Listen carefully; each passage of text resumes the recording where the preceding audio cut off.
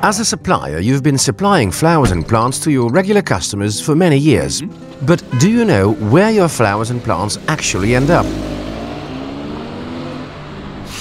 And if they are, what the consumer is really looking for?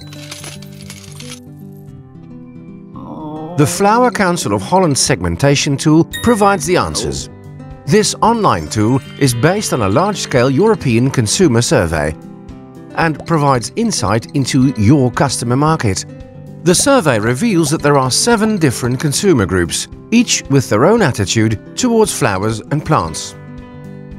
The different consumer groups can be compared using various reference points, such as price, home situation, family composition and sustainability.